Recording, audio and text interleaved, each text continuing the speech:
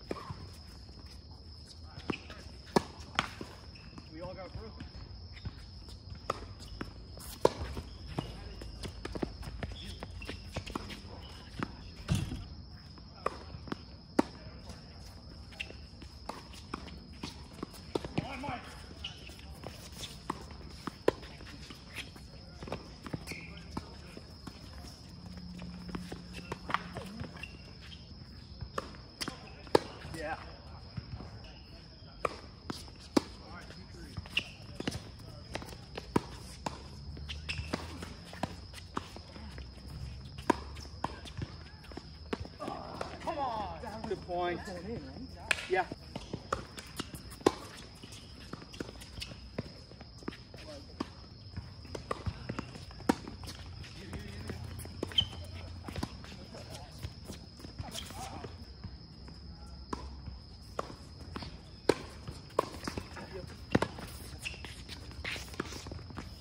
Oh. okay.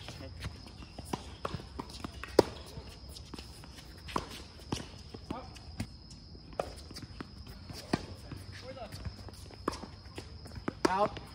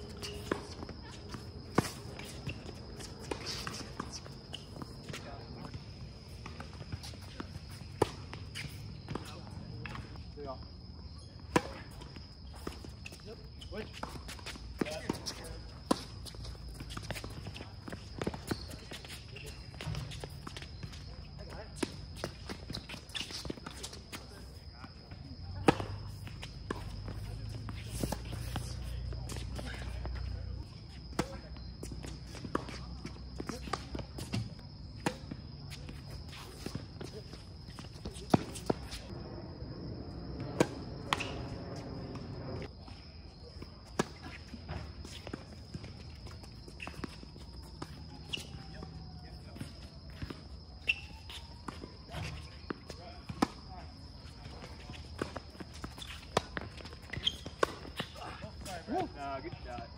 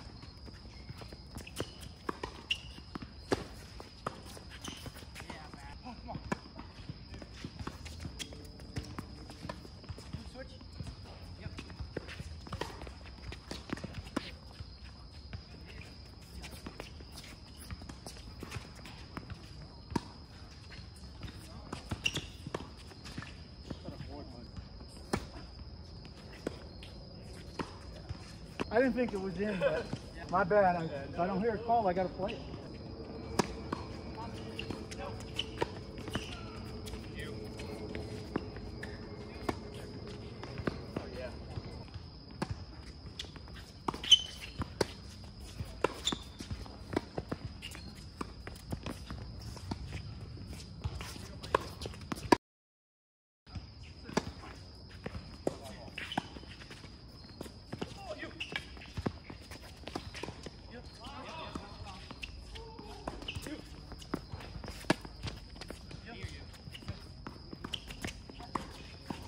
Back.